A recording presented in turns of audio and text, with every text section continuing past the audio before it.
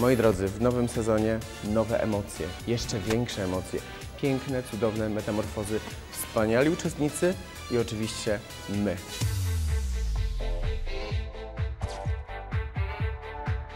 Każdy z naszej trójki ma bardzo ważną robotę do wykonania. Jarek oprócz tego, że prowadzi program, musi dbać o świetne makijaże. W tym sezonie uczestniczki jeszcze bardziej nam udowadniają, że to piękno wewnętrzne jest o wiele ważniejsze niż to zewnętrzne.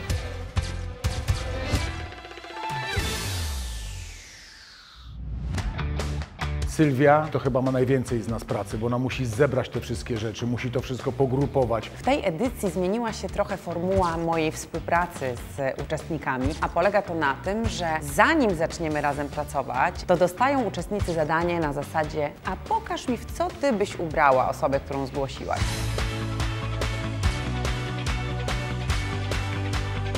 No i ja znowu mam też y, tą taką największą chyba odpowiedzialność, bo jeśli już coś zrobię, to to już zostanie.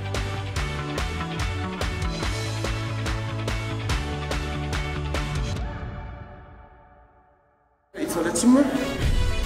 W naszej nowej edycji mamy więcej par mieszanych. To oznacza, że mamy więcej do czynienia z mężczyznami na planie. Dla mnie super. Mamy nowe studio, dla nas jest to duży komfort pracy, bo jest większy od poprzedniego. Emocje będą sięgać zenitu.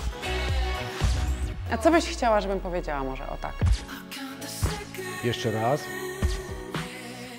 Jeszcze raz, nie? To, co ja chciałabym zrobić z naszymi uczestnikami w programie, to pokazać im, że mają ogromne spektrum przeróżnych możliwości i nie muszą się absolutnie w niczym ograniczać. Jedyne ograniczenia są w ich głowach.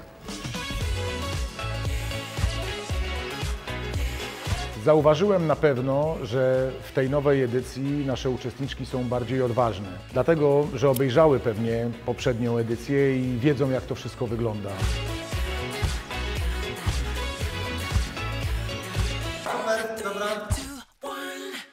O, tak. Nie? Nie. Coś jeszcze? Szacun.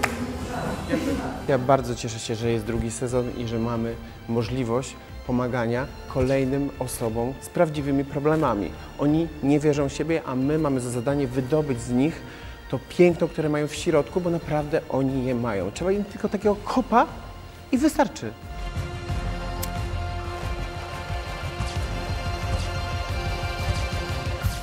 Moi drodzy, myślę, że nowy sezon to będzie totalny hit.